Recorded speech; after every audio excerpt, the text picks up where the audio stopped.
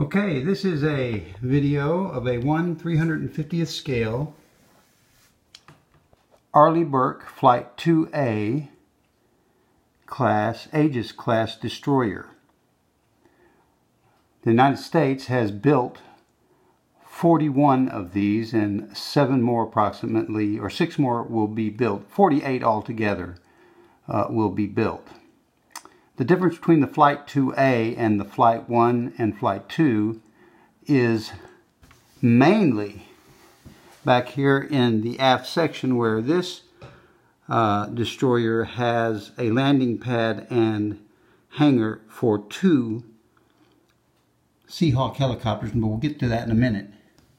Uh, in order to do that, it had to sacrifice uh, a few uh, vertical launch missiles. This ship carries 96 vertical launch cells, uh, which is more than any of its contemporaries uh, uh, from other countries outside of the cruisers built by uh, uh, the Russians back in the 80s and the Sejong class uh, and the Ticonderoga class built by the U.S. The Sejong class is from South Korea.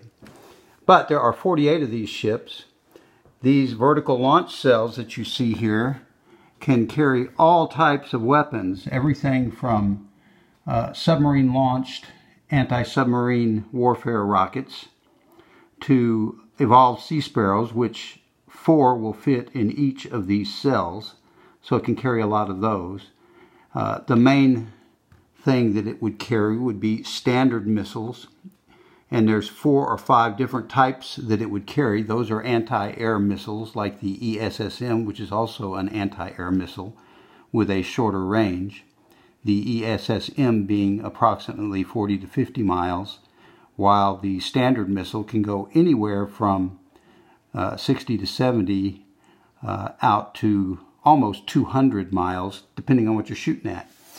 It can carry the uh, ballistic missile defense missiles, which can shoot down ballistic missiles, which would be coming in from the lower regions of space, you know, well above 100,000 feet.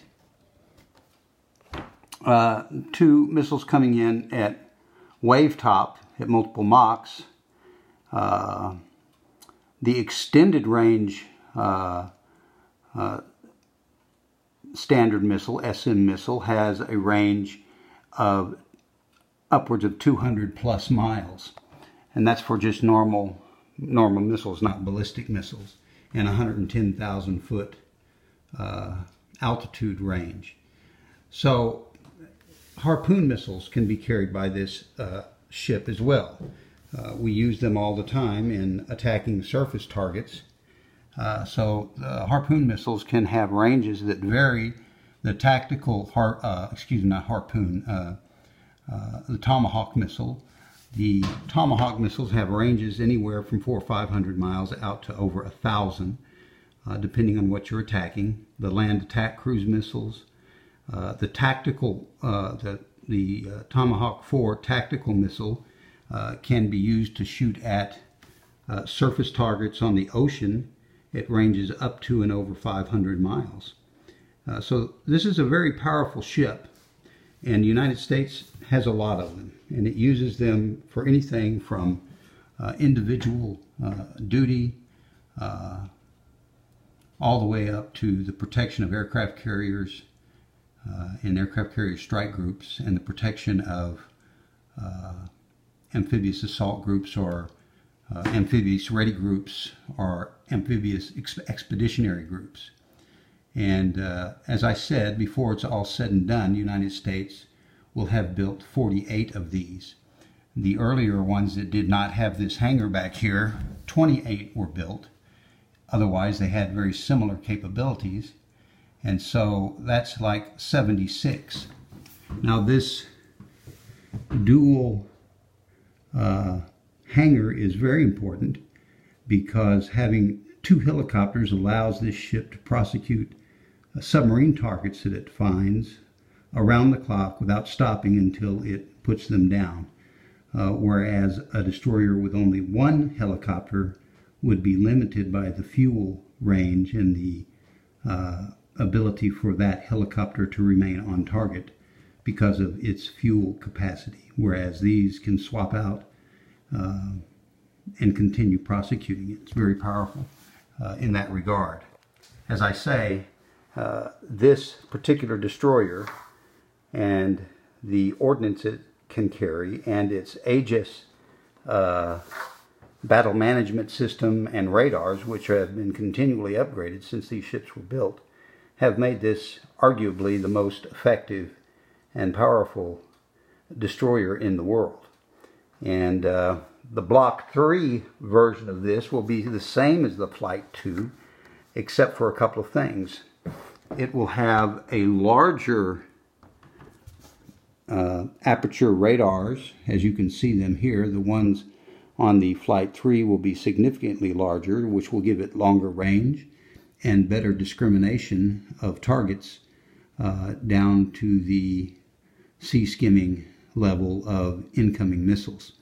And uh, whereas this ship, full load, is about a 9,600 ton vessel, the Flight 3 will be approaching 10,000 tons. The only thing the United States has in terms of a surface combatant that is larger is the Ticonderoga class, and we'll show you one of those as well. Uh, the Ticonderoga class, uh, there are 22 of those vessels, and they are command ships, and they carry 128 vertical launch cells with all the same capabilities that I just mentioned. Uh, very important on this ship is the ability to carry those ESSM because they can take 10 of the 96 uh, missile cells and have 40 ESM, SSM uh, missiles that are very accurate, very capable, and have ranges up to 40 or 50 miles. So they establish several layers of defense. Of course, the ship also carries a close-in weapons system and normally will be in conjunction and, and perhaps have uh, U.S. frigates with it. And we'll do a missile on those, I mean, we'll do a video on those alone at some point. But this is the USS Lassen. It's a trumpeter class uh, trumpeter model. And what's so nice about the trumpeter is they are so very uh, detailed. As you look at this ship, you can see the level of detail that the ship comes with. I have uh, um, loaded this ship up with the aftermarket uh, detailing so you can see the the railing that has been added to this ship to make it realistic the photo etch uh, sensors that it has uh, as well as enhanced uh, 20 millimeter guns and 20 excuse me 25 millimeter guns and uh, that's uh, that's a pretty impressive, impressive ship when you come and think about it. So this is the Aegis class. Now very quickly, just for a couple of minutes, I'm going to compare it to the nearest uh, Chinese equivalent ship that is out, which is the Type 52D. Uh, the Chinese built six Type 52 sea vessels that are uh, uh, out plowing the waves. Those carry 48 vertical cells, and they are round cells that are what is called cold launch. That means they are ejected out of their cell uh, by compressed gases, and then their rocket engine kick kicks in and they take off. When the Chinese built the Type 52D, which I am now putting in place, you can see that it is very similar uh, to the Aegis class vessel. Virtually the same length, not quite as wide, and the electronics aren't as heavy. So this ship that the Chinese have will displace close to 8,000 tons full load, maybe a little more. And you can see their vertical launch missiles Their vertical launch missiles, there's 64 cells, so it's significantly less missiles uh, available through vertical launch. They are hot launch cells like the U.S. cells, uh, and they have now uh, both anti-submarine warfare, anti-air warfare, and anti-surface warfare missiles that they can launch, uh, but not the variety that the United States carries. That's the Type 52D uh, destroyer. Very good destroyer, good looking destroyer, good lines. Uh, one big difference, and it's a critical one, is their hangar, as you can see, only allows for the single helicopter.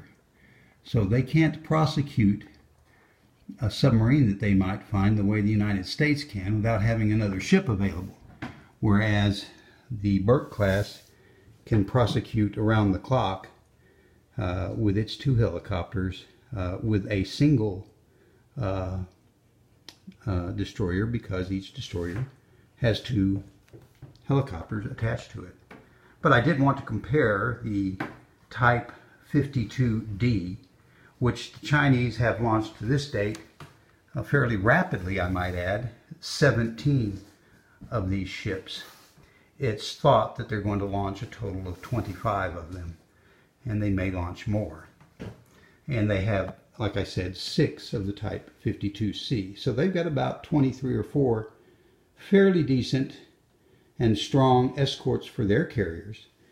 They have two carriers now, whereas the United States, of course, has 11 nuclear carriers. The United States with the J, uh, F-35B uh, ship uh, has an additional capacity to make its 10 LHD and LHA amphibious assault ships into escort carriers. Please see the video of one of those in 1 350th scale that I put out with a full F-35C air wing on it so here again you have, oh and by the way, the, the Chinese are building a Type 55 vessel that I'll do a video of as well uh, when I get the two ones that I've just bought that have the full hull. I did a video of a uh, surface level, you know, ship of the Type 55, but I would like to show the entire the entire hull. Uh, they have built four of those, and they're going to build quite a number more. They expect to build at least 20 of those vessels. So they're going to end up with 45 or 50 very decent escorts when the United States is all said and done with 22 and a total of close to 100 uh, destroyers. There will be 122 uh, large destroyer or larger class combatants to uh, protect the United States carriers and large amphibious ships. So let me remove this uh, Type 52D out of the way and we'll finish off with a good picture of the uh, Lassen, USS Lassen, DDG 82 trumpeter class uh, ship in 1 350th scale. This is Jeff Head. Thanks for watching the channel. Hope you will subscribe to it and pass it on to your friends if you have interest in model building or naval information, uh, modern navies. Thank you again. Bye-bye.